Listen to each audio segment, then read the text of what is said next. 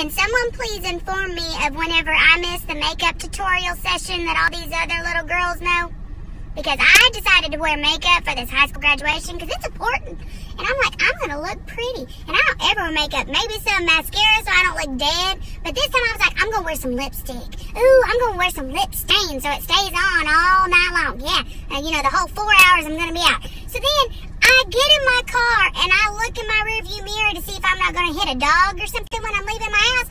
And as I'm driving, I'm looking, I'm like, what the crap have I done? It's on my face, it's on my palm, it's on my fingers, and I'm like, where the crap does this stuff come from? Why do I have crap everywhere all over my face? When did I miss how to put on makeup? And then this is even more reason why I'm like, this is why I don't wear makeup.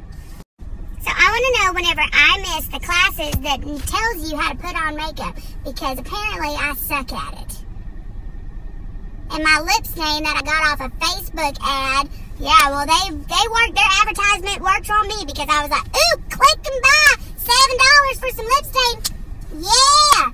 So then I'm getting it all over. So then I got to go back in my house and get some makeup remover because lip stain just doesn't come off. And I'm like, makeup remover, which then I got to like worry about what it's doing to the rest of my face. I'm like, uh, forget it. I'm just gonna look like I just don't know what I'm doing. These kids don't know any difference either. We're just all dumb teachers. They don't they don't ever think, oh, she needs to know how to wear makeup because she teaches music. No! I'm supposed to be in like tie-dye clothes and weird sunglasses.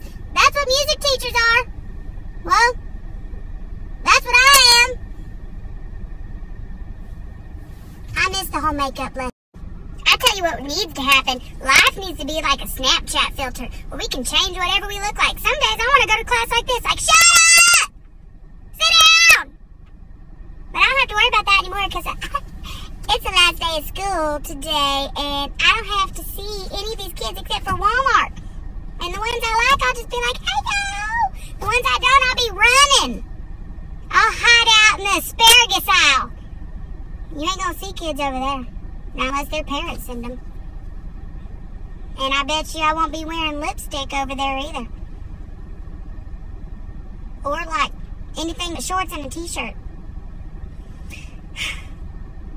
Life. Isn't it great?